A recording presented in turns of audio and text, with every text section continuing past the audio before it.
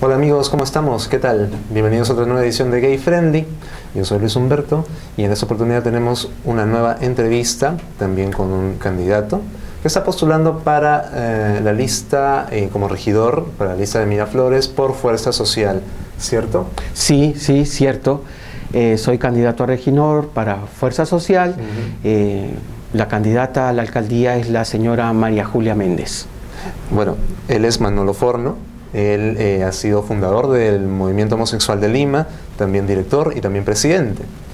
¿Cómo estás, Manuel? Bien, y ahora formo, soy asociado del Centro de Promoción y Defensa de los Derechos Sexuales y Reproductivos, PROMSEX. Bien, con un poco, con bastantes cosas que hacer eh, para coordinar todas las actividades del, del bloque TLGB al interior de Fuerza Social, que creo que es importante, ¿no? Aprovechar esta oportunidad que nos ha dado eh, Fuerza Social y Susana Villarán para poder colocar eh, nuestras problemáticas y, tratar de que se reconozcan nuestros derechos como personas TLGB. Y dinos, Manuel, ¿cómo así realmente se dio la oportunidad en un principio?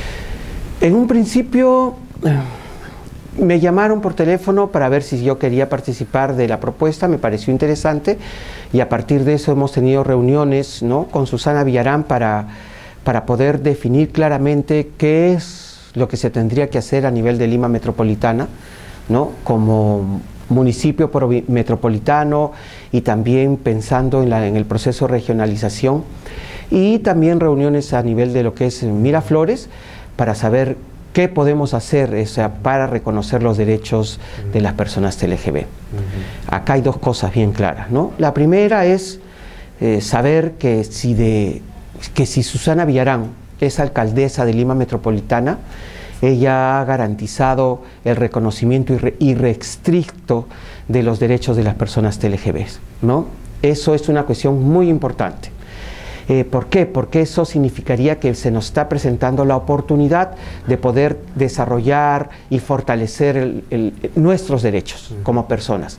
Sería un buen paso en la cual creo que el movimiento TLGB debemos aprovechar esta oportunidad, ¿no? Mm, bueno, en la cual eh, ¿Cómo se expresaría esto? No? Se expresaría primero en tratar de colocar y aprobar una, una, ordenanza de no discriminación en Lima Metropolitana que valdría para todos los distritos. Y esto se expresaría de muchísimas formas. La primera, en, la cual la violencia contra las compañeras trans y contra los compañeros gays en el centro de Lima dejaría de existir. Sabemos, a través de los informes de derechos humanos elaborados por PROMSEX y la Red Peruana TLGB, de que el primer ente violentista en Lima Metropolitana es el municipio, ¿no? A través de Serenazgo y la policía. Entonces, eso es un buen paso adelante, ¿no? A nivel de Miraflores, sabemos que existe una ordenanza de no discriminación que ya va... ¿Cuánto? Dos años. Dos años de la ordenanza. dos años de aprobación. ¿Qué está sucediendo en realidad, Miraflores? Nada. O sea, no se ha este, normado ni reglamentado la ordenanza. Y si esta ordenanza no se norma, no se reglamenta, eh, como si no estuviera.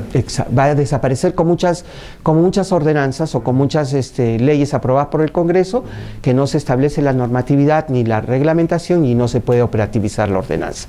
Entonces ahí también hay que trabajar, ¿no? Esto implica, eh, cuando hablamos de ordenanza, hablamos de que no se podría discriminar a nadie, ni por razones de su indumentaria, de su orientación sexual, su identidad de género, su pobreza, su manera de hablar, el color de piel, el sexo y muchas otras razones más, ¿no? que nos darían a nosotros un soporte importante para el reconocimiento de nuestros derechos.